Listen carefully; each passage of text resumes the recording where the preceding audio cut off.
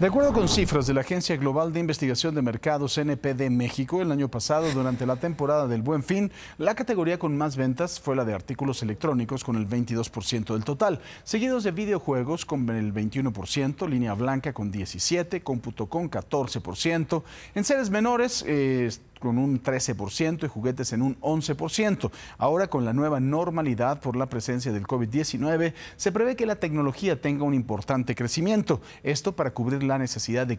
clases virtuales y el trabajo en casa, aunque también puede haber espacio para categorías enfocadas a la preparación de alimentos o limpieza del hogar como aspiradoras y purificadores de aire.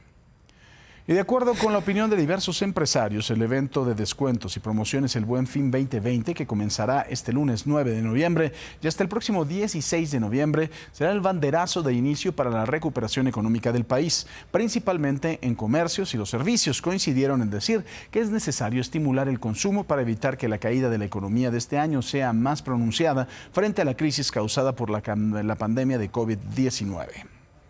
El presidente de México Cumbre de Negocios, Miguel Alemán Velasco, consideró que ante la crisis económica provocada por el COVID-19, los mexicanos debemos de ser creativos e innovadores y sobre todo audaces para rediseñar un modelo que haga compatible la recuperación con la protección de la ciudadanía. Mencionó que deberá de ser un proyecto de desarrollo con tecnología de alta competitividad que dé prioridad a la superación de la pobreza mediante el empleo, la educación y la legalidad, además de las inversiones productivas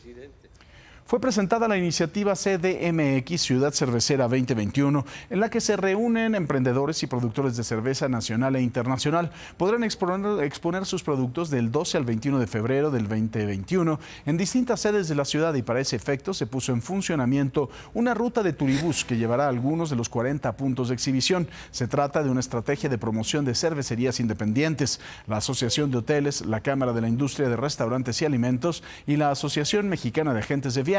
La Secretaría de Turismo de la Ciudad de México y la Secretaría de Desarrollo Económico.